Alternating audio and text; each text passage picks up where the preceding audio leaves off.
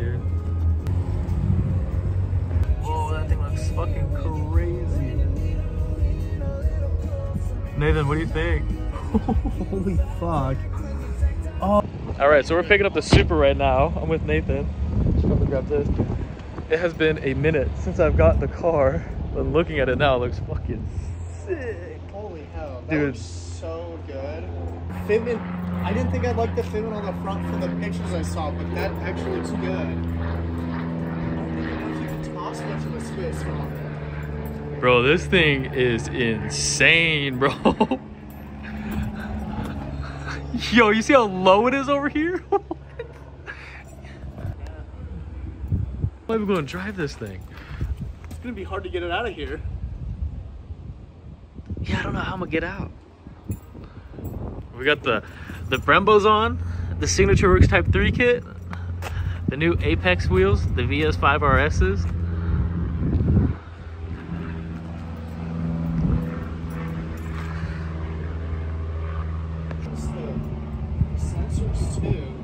Yes. That is cool.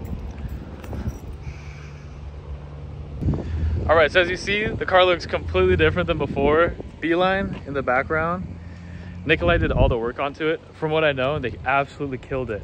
But I did jet out of work real quick just to come grab it. Thanks, shout out to Nathan. Say what's up, Nathan. So yeah, we gotta head back to work now, but I am obsessing with how the car looks.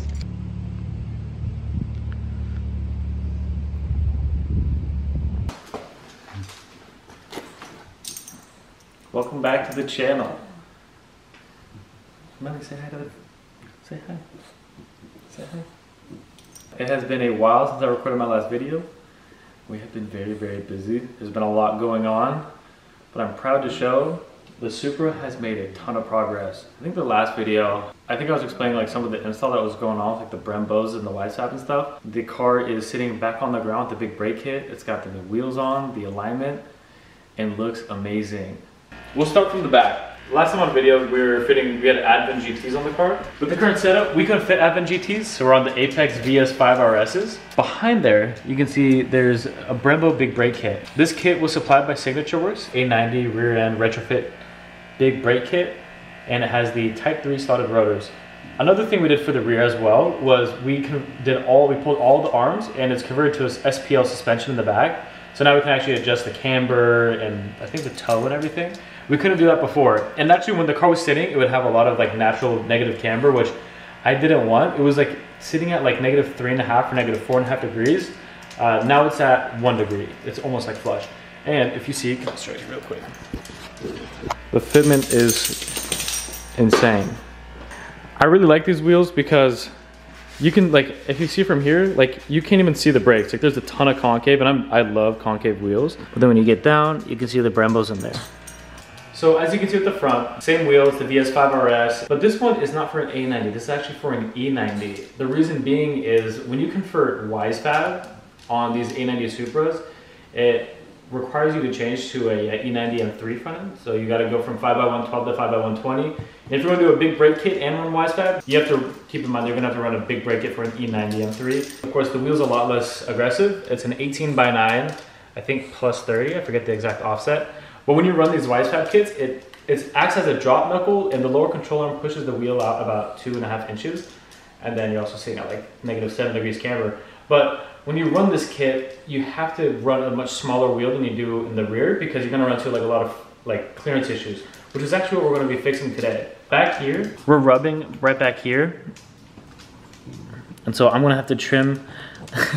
but yeah, I'm super happy with how it, it sits because it's it looks amazing.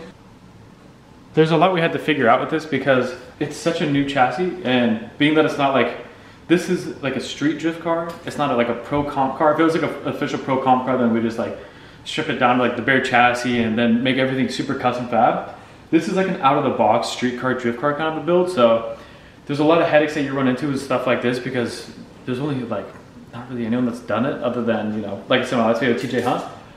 But being that everything's set now, everything's good, it drives amazing. I do need to trim that a little bit and bash on my fender a little bit, but we're just going to trim the fiberglass for right now because it's pretty much like the main thing that's rubbing. I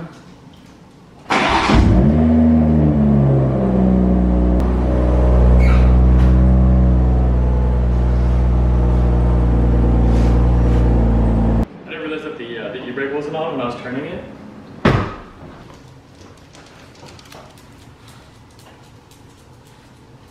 Yeah, you're running on both sides. There's a ton of lock. Everything is pretty much clear except for right here. You can see exactly where it's rubbing. So we're gonna trim all this.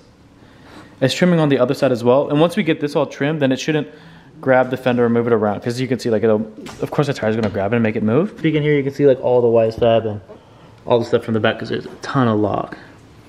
But yeah, let's get the trimming.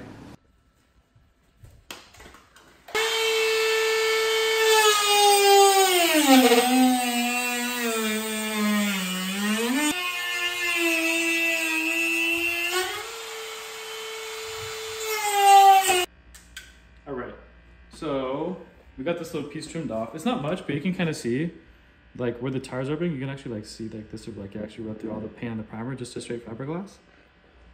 But it should be off. I mean, it should be enough. I'm gonna kind of like try to clean it up a little bit. It's not the cleanest cut ever, pretty jagged, but I'm gonna go around and sand it so it's like a little bit cleaner. This is just a, a first cut just to see if it actually clears now without rubbing. So looking at it, it's actually pretty funny how like similar in size. Granted, I did like a little bit more sanding on the other side. Uh, how similar like I had to trim off these pieces, but both are trimmed now. Let's see real quick if it rubs. I don't think it will, but if it does, we can always just trim more.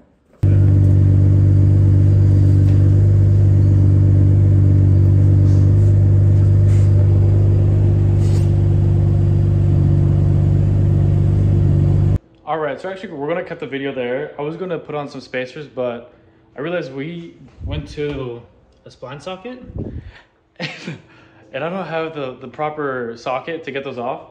So we'll be doing that next video, spacing it out, kind of tweaking a couple things on the car. But yeah, if you guys have any questions, more than happy to answer them. Just leave them down below. I hope you guys liked the video. As happy with the progress as I am on this car. I'll see you guys in the next video. Thank you for watching.